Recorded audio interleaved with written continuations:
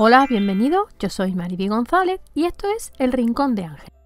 En el vídeo de hoy te traigo dos ideas para reciclar botes de cristal muy fáciles y muy bonitas, así que si quieres verlo no te pierdas este vídeo. Estos son los frascos que vamos a reciclar o los botes de cristal que son como veis muy fáciles de conseguir. Ya están limpios previamente y les he quitado la etiqueta. Con cinta de carrocero o cinta de pintor voy a cubrir la mitad de uno de ellos. Lo colocáis más o menos a la altura que os guste. Yo lo voy a poner aproximadamente un poco más arriba de la mitad.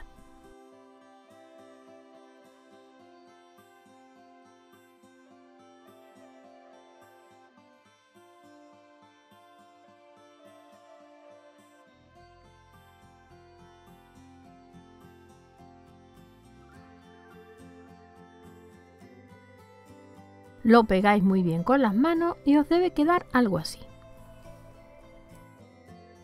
Vamos a pintar la parte que no hemos cubierto con la cinta de pintor o cinta de carrocero. Vamos a aplicar dos capas para que se quede bien blanco. Pintaremos un bote y después el otro. Este segundo bote lo voy a pintar por completo, entero. Como muchas de vosotras ya sabréis, la pintura a la tiza se adhiere perfectamente al cristal, así que no necesitamos ningún tipo de imprimación previa. Podemos pintar directamente sobre el cristal sin necesidad de utilizar gesso ni ninguna otra imprimación. En el caso que quiera utilizar pintura acrílica, tendrás que aplicar primero una capa de imprimación o gesso. Aplicamos una primera capa de pintura, la dejamos secar muy bien y después aplicamos una segunda capa para que el bote quede muy muy blanco. Con la misma pintura pintaremos las tapas de los botes.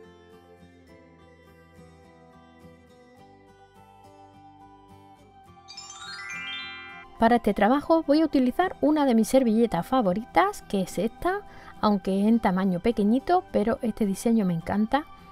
Esta servilleta, como siempre, ya sabéis que las compro en Dipinto Di Blue y os dejaré el enlace a esa página y a todos los materiales que utilizo en este trabajo en la cajita de descripción del vídeo, debajo donde pone mostrar más.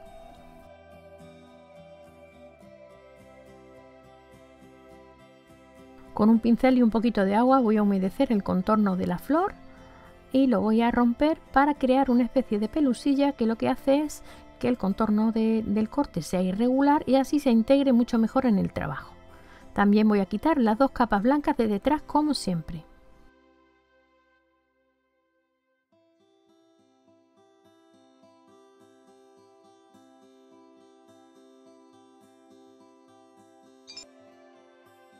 Coloco la servilleta sobre el bote y con un pincel ancho y plano voy a aplicar el pegamento desde el centro del dibujo hacia afuera con pinceladas largas.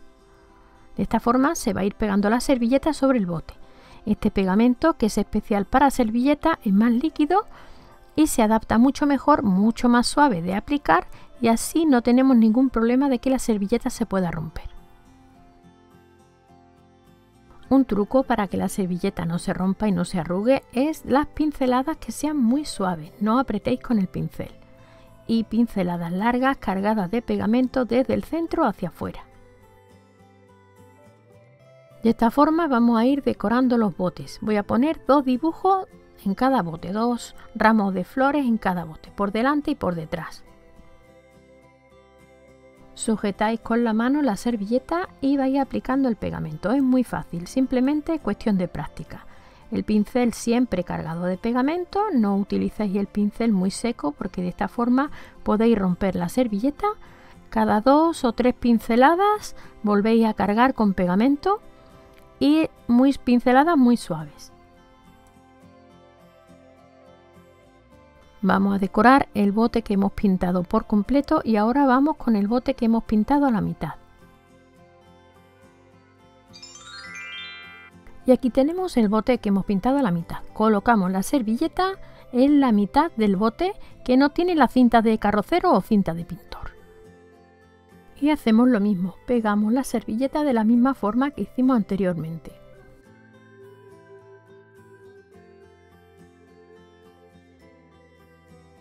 La cinta de carrocero la puedes retirar antes del decoupage o después, como más cómodo sea para ti. Eso sí, tienes que tener en cuenta de no colocar el decoupage por encima, ya que después al retirarla se va a estropear. Así que la voy a retirar ahora y después continuaré colocando el decoupage. Con la cinta ya quitada, si es más cómodo para vosotros, continuamos pegando la servilleta en el bote.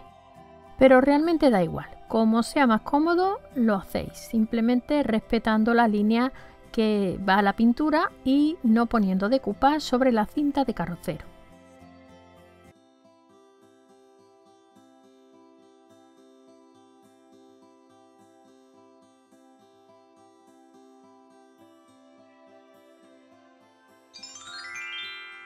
Ahora voy a decorar el bote con la herramienta de pintar puntos. Voy a pintar unos puntitos en este bote. Voy a decorarlo. Primero voy a pintar unos puntitos en la raya para que me haga de adorno. Con la misma pintura voy a hacer como una especie de perlitas con la pintura plateada. Si no tienes esta herramienta de pintar puntos, puedes hacerlo con la parte de atrás de un pincel.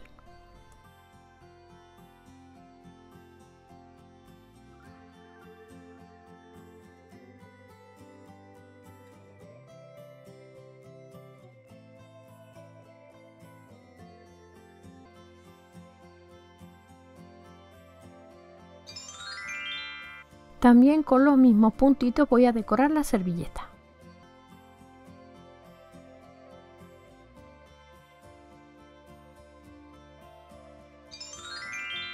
También voy a hacer lo mismo con el bote que hemos pintado por completo de blanco. Voy a pintar unos puntitos en color plata alrededor de todo el bote.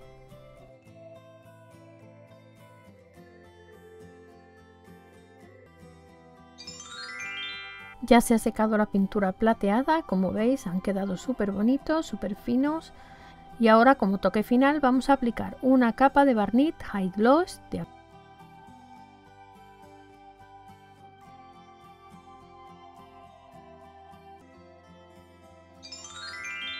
Y una vez seco el barniz ya tenemos el trabajo terminado. Como siempre espero que te haya gustado y si es así déjame un comentario, dime qué te ha parecido dale a like y no olvides compartir el vídeo en tus redes sociales para que el canal siga creciendo. También me gustaría que me etiquetaras en Instagram si haces este trabajo. Abajo en la cajita de información tienes el enlace a mis redes sociales, a Instagram, también tienes la lista de materiales y los enlaces a donde yo lo he comprado y ya nada más. Un besito para todos y para todas, espero que os cuidéis mucho, no salgáis de casa y nos vemos muy pronto en el próximo vídeo. Hasta pronto amigos.